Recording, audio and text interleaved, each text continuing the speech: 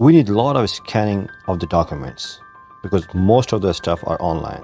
You know you can scan your documents directly from your samsung camera. So let's see how we can do. So this is a camera.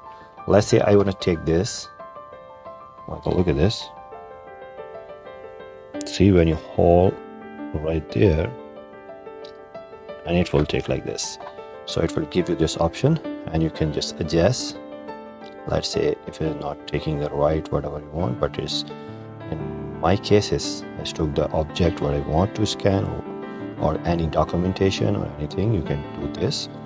So let's say after after setting you can just save it. So this video will see how you can turn it on.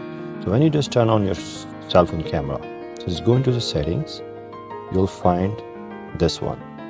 So the scan documents. So just when you turn on see it will auto scan otherwise you can you can just turn off this feature and whenever you just want to do scanning you can just bring it here and uh, you can do manual.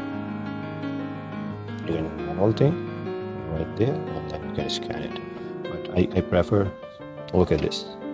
See it, it is it is finding the object right there and then you can just click and it will do it. So but to recommend i would recommend uh, the auto thing which is actually more precise. So turn on that thing and you can scan any documentation.